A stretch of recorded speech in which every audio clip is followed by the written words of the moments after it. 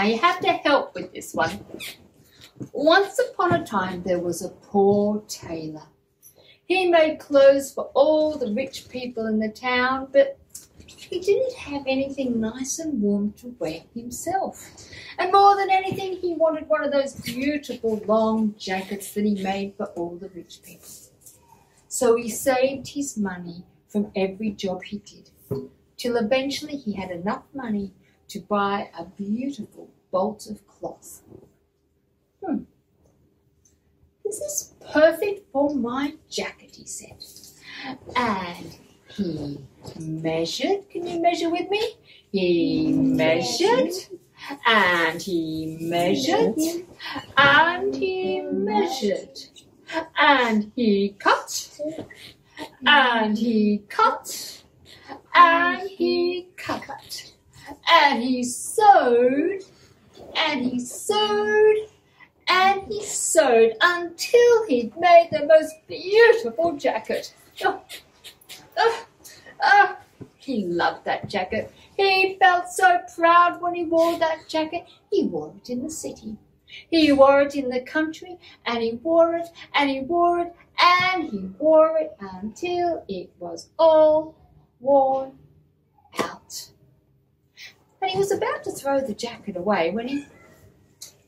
Oh, there's just enough material here to make a woof, woof, to make a coat for my dog. And so he measured Oh, I know this one. and he measured and he measured and he cut and he cut and he cut and he sewed and he sewed and he sewed until he made a beautiful coat for his dog. And he put the coat on the dog. And the dog loved that coat. He felt so proud when he wore it, and he wore it in the city, and he wore it in the Country. country, and he wore it, and he wore it, and he Wore it. until it was all worn out. And the dog took off the coat, and the tailor was about to throw it away when he thought, oh, there's just enough material here to make some pajamas for my cat. And so he measured, and he measured, and he measured, and he cut, and he cut, and he cut, and he sewed, and he sewed, and he sewed until he had the cat's pajamas.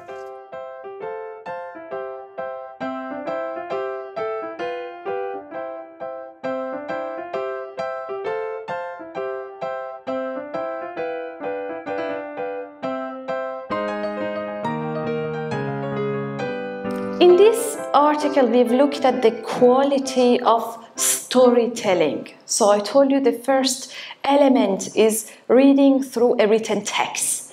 The second element is storytelling. What about storytelling? We've been tricky. We've given parents a book. Do you know this book? How many people know this story? Oh, you people are too modern. We grew up with this story. And then for you Western people, this is too scary for kids to tell this story. We grew up with the story. It's a wolf that goes and uh, eats those little um, uh, goats, and it's quite dramatic, traumatic, scary story. Um, a bit like. Um, Okay, so we've given a picture book. This is an old fairy tale, like um, the Little Red Riding Hood. Do you know the Little Red Riding Hood? Oh, thank God. Okay, that's quite scary too. Before I tell you about the story, I go back to where I started. This is my backward planning. So I told you about theory of mind, and I told you about autism. Um, something we know is that people, individuals with autism, uh, they struggle with a concept that we call theory of mind. This is your lesson number what? Four. lesson number four. Um, theory of mind is understanding that other people have their own uh, internal mental states. The general idea is we do think of what other people are thinking, right? So, for example, if I uh, just start running out, you sitting there thinking, well, what happened to her? What was she thinking about? What is going on in my mind, right? So, um, understanding that there is something going on in my mind. Sounds funny. It sounds very simple. It's a developmental milestone for children. Also that people's behavior is based on their mental state. So if i walk outside it's because something is going on in my head. And then we can have a belief which contradicts the reality. I'll tell you uh, just in a minute what this is. And to predict one behavior, we need to consider their beliefs, either through or false. Our ability to think about mental states is the most important aspect of our uh, lives as human beings. Some people think this is the distinguishing factor uh, between human and all other species. And a theory of mind, having theory of mind will allow us to build successful social and even international political relations. Uh, I'd like you to listen to this talk from Professor Cecilia Heyes. She is a distinguished researcher at the Oxford University in the area of theory of mind. Thanks, Danny. I hear mind reading I think of science fiction, you know, I can see into your into your mind, but that's not exactly how you're using it here. What does mind reading mean in this context? No, that's right. There's there's nothing spooky hmm. about um, the way we're using the term mind reading. It's something that most adults do a lot of the time.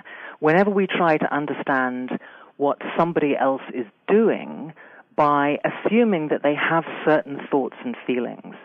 So, say for example, you were to pause unexpectedly in our conversation, I might ask myself, why is Sarah doing that? And I might infer that you think that I haven't finished speaking and you want me to continue. So I would be explaining your behavior with reference to thoughts and desires in your head. That would be mind reading. It's very important for us to be able to do mind reading. It's one of the things which makes us distinct from other animals as a species, and it's essential for many areas of human life like the law and negotiating agreements and deciding what behavior is permissible and what isn't. Why is theory of mind and understanding mind reading an important area to study? I think these questions are really important because mind reading is at the root of what makes us human, what makes us different from all other animals. And it's really important to work out how we come to be this way. Is this something that we genetically inherit? Is it something that the members of individual cultures have come up with, a theory that they've come up with, and that they pass on from one generation to the next? So it's a fundamentally important question about human nature, which also has implications for understanding developmental disorders such as autism and for education in general. We need to use theory of mind to educate our children, not only about the mind, but about a huge range of other topics. So when a child learns from their parents how to represent the minds of others, it is, as we say in the article, a cultural gift that goes on giving.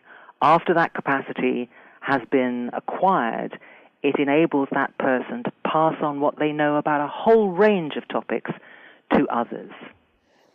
So you heard that about mind reading. This is your homework. When you go home, you do uh, start thinking about what other people know and you think about how important it is to consider what they know if you want to ask them to do something if you want to ask kids to do something they need to know sometimes parents say i'll, I'll be back in half hour and the child has no idea of half hour okay? You need to think what do they know? And if you're a teacher in your class you do ask yourself am i using my mind reading abilities to teach these children and, and to communicate with other people?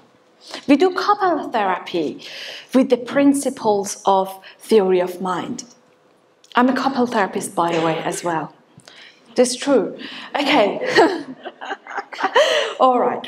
So, uh, how does theory of mind develop? I just um, don't need to tell you this. This is interesting. I'll tell you this. So, assessment of theory of mind. How do we assess theory of mind uh, with kids? Have has any of you seen uh, this scenario somewhere? Mm, Interesting. This is called Sally Anne scenario. Very famous scenario for assessing theory of mind in children. We say a lady comes, her name is Sally, she puts the bread in the basket. Sally leaves the room. When Sally is not here, she doesn't see us, she can't hear us. and moves the bread from the basket to the box. Now Sally comes back. Where does she look for the bread? In the basket. Very good. You passed the theory of mind test. well, it's an easy answer, isn't it? It is quite easy. It is easy for a three year old. They tell you in the box. They're sure it's in the box. They don't tell you they don't know. They say in the box. They need to become four, five, even six to then, like you say, in the basket. Children with autism, they can't pass a false belief task uh, for quite a um, older ages. This is called a false belief task. Why? Because Sally has a false belief. Her belief is the bread is in the basket, but the reality is the bread is now moved to the box. But she comes in with her false belief. See, all of these things children need to pass. This is the cognitive development. They need to remember what happened. Remember, she put it in the basket. But then they need to know she acts based on what is going on in her head. They need to know what I know, you don't necessarily know. So now I know the bread is moved, but Sally doesn't know. How, how do we acquire knowledge? We need to know, we need to see, maybe I saw it happening, maybe someone told me, maybe I figured it out from a clue. These are all the developmental milestones that children need to pass to answer this simple question. Then we have, so I told you that we gave a book uh, to parents to read, to tell a story to their children.